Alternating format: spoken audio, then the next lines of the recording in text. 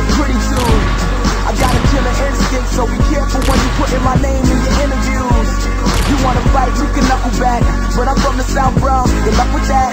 Plus I'm 25 sitting on a couple sacks, and I gotta give people flick when I fucking rap.